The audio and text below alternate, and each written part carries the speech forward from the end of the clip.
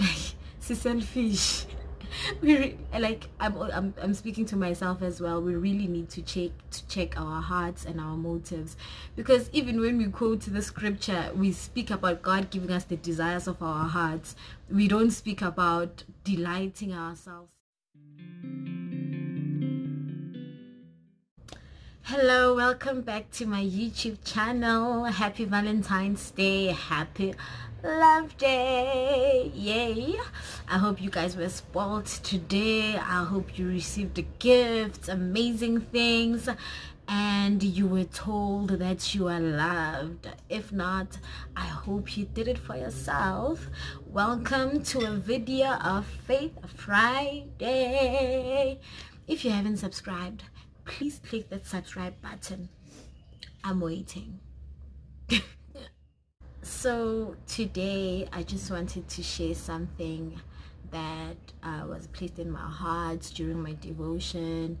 Um so yesterday and today yeah things that i've just been thinking about lately. And it's not going to be a long video it's just something quick quick right?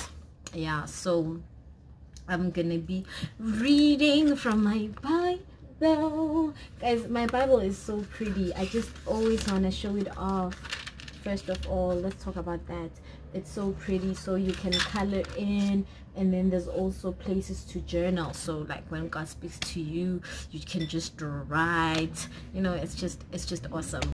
And this is what it's inspire and the version is NLT I find that NLT explains things nicely. It's weird because I'm so used to New King James and NIV, but I like it. Né? So, uh, what I've been thinking about basically is motives, right? So basically how, do I check my motives? Um, do we really check our motives? We quote scripture so much which you know just ask and you'll receive. And then we say we we know the word which jesus was saying that um, you must ask for whatever in his name and the father will give it to you or will do it for you. But why are we asking for those things? You know? Yeah so i am gonna read now i closed my bible and as it was open where i wanted it now it's just closed. And now I have to find the scripture. I found it. I'm gonna read from the book of James chapter 4 no? Basically from verse 1 he's talking about how you have quarrels among you because you don't have what you want and all of that. And then you don't have what you want because you do not ask God for it. And then here is my verse of focus. Verse 3 says and even when you ask you don't get it because your motives are all wrong. You want only what will give you pleasure. So basically James here is teaching us something good yes most of you don't have stuff because you don't ask. You don't have what you need. You don't have what you desire because you don't ask. And then abuye reveal another matter ukuthi those of you who ask are not receiving because your motives are wrong. Um you are motivated by selfish ambition right? And then i was also looking at Proverbs chapter 16 verse 2 it says that people may be pure in their own eyes but the Lord examines their motives.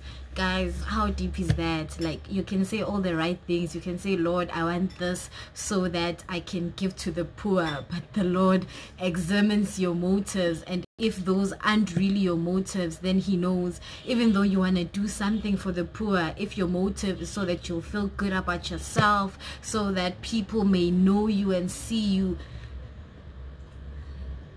you know your motives are not pure. They are still about you um, and also in everything that we do also i think it's important to check our motives when we serve when we go to church all the time when we do all these things that we say we are doing for god. What is our motives? Because sometimes that is revealed when we want something from god or we feel like we deserve something from god and we don't have it and then it's revealed most of the time when because we stop serving him as if we were serving him because we wanted some sort of payment you know?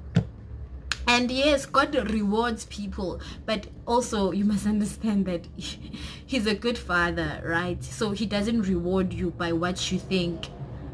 This is this is this should be my reward. He he rewards you appropriately. So he's not obviously even now if you have a child and you want to reward your child for doing chores or whatever you're not going to give a two-year-old something that's gonna kill them you know it, it doesn't make sense right? So you don't give them god like you don't give them what they want. You give them what's good for them.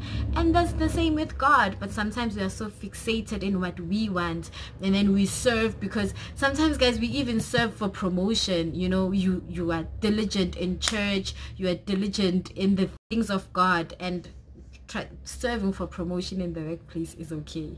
But in the church guys you're literally serving and always there just so that they can notice you and then probably put you up there.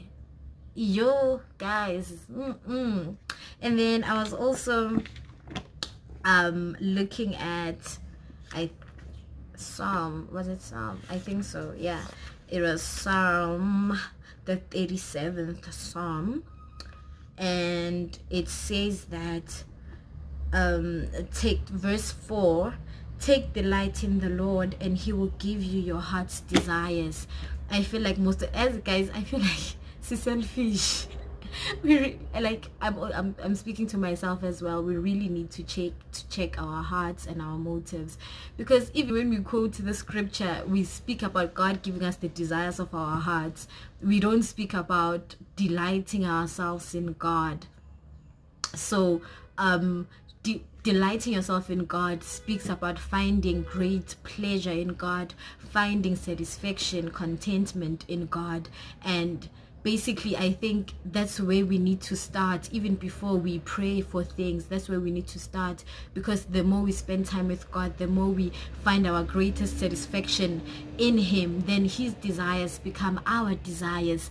And then when we pray we know that it comes from a good place. We know that our motives are in check. We know that we are praying in accordance to his will. Because i think first john first john first john somewhere there it says that um uh when he writes he says that basically you should ask whatever you ask for that is in his will in accordance to his will then you will get it. You see so there's that thing Guti, it's not just Guti, everything you ask for it's just given to you. Is it in the will of god? And how do you know the will of god? When you spend time with him delight yourself in the lord. Delight yourself in the lord. Spend time with him. Spend time in his word. Spend time in his presence you know.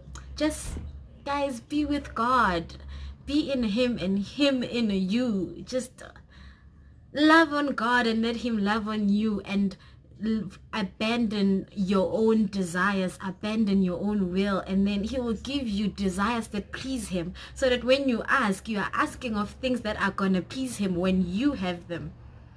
So it's going to please him basically to give you the desires of your heart yeah guys that's where i was. Let's check our motives. Let's ask god to check our motives. Sometimes it's hidden from us but if we truly ask him and we truly want to know and we say lord reveal my motives he's going to reveal them. And it's not always going to be pretty it's not always going to be nice but at least we'll be aligned. All of us will be aligned and we'll ask for things that matter.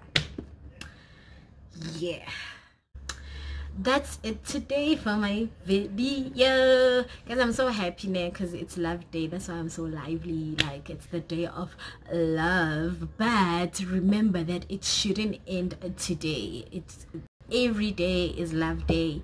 Every day god loves you. Every day you should love god. Every day you should love your neighbor as you love yourself. Okay? Anyways thank you so much for watching. I nearly said thank you so much for subscribing. You know what? That's a word. So if you haven't subscribed click that subscribe button okay? Okay and thank you while you do while you do that. Okay. Yeah and yeah like if you liked it and comment tell me what you think. And then i'll see you guys next time with another video. I love you but god loves you more